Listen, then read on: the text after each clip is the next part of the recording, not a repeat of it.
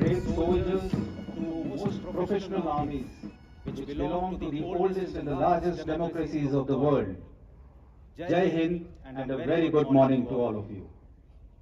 On this bright and sparkling day in the serene surroundings of Auli, located at approximately 9,200 feet, I extend a very warm welcome to you all in the lap of mighty Himalayas. We are honored to be guests in your land and beautiful country of India. Much like last year, we will train together, break bread together, laugh together, and drink tea together.